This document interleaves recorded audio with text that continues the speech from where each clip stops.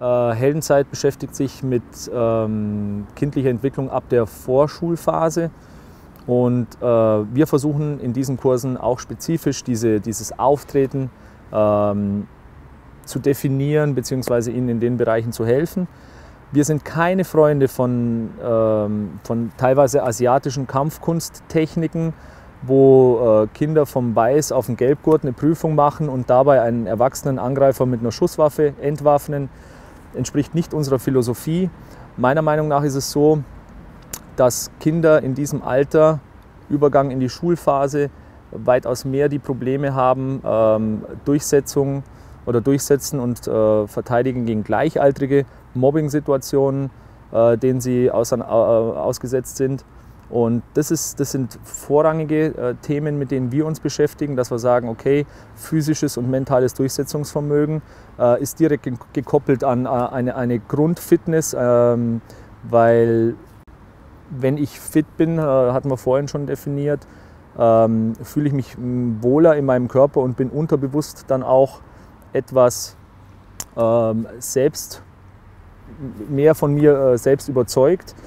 Und äh, bin auch nicht so schnell Opfer physischer Übergriffe.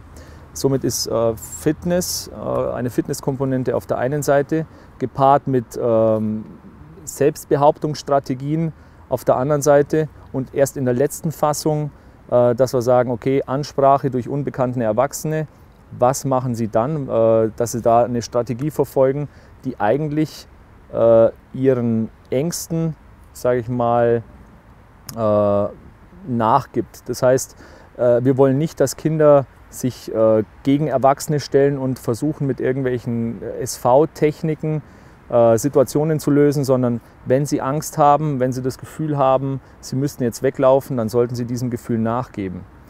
Ähm, die mentale und physische Durchsetzungsfähigkeit erreiche ich dadurch, dass ich Gleichaltrige durch europäische Kampfsporttechniken, wie zum Beispiel Grundlage, Beinarbeit, Boxen, ringerische Elemente, äh, an Auseinandersetzungen oder limitierte Sparringsformen heranführe, wo sie sich einfach durchsetzen müssen ähm, gegen gleichaltrige äh, Partner oder auch Angreifer und äh, gleichzeitig das Erlernen von, von, von Achtsamkeit, Vermeidung, ohne dass ich äh, ihnen das Gefühl vermittle, äh, sie müssten jetzt in allen Situationen Angst haben vor Unbekannten.